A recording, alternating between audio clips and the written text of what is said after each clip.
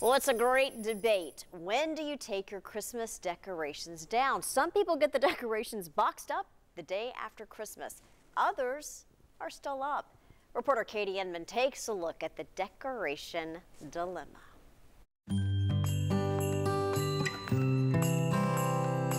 Wait, what day is it? If you're like me, the Christmas tree, decorations, and door wreaths are still out on display.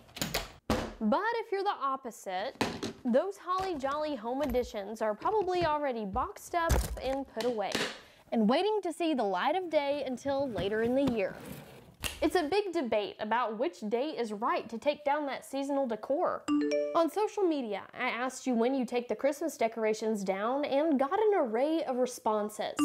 The day after Christmas, the week after New Year's, first full week of January, or February. Shannon isn't far off when it comes to English traditions of undecorating. Some people think that it's bad luck to leave up Christmas decorations after the first of the year, but experts beg to differ. According to English Heritage, a historic preservation organization in England, you should wait until February 2nd, also known as Candlemas, to take everything down. Candlemas falls 40 days after Christmas and was observed as the official end of Christmas in medieval England. Some Christians believe the Christmas decoration should stay up until January 6th, which is the 12th night after Boxing Day.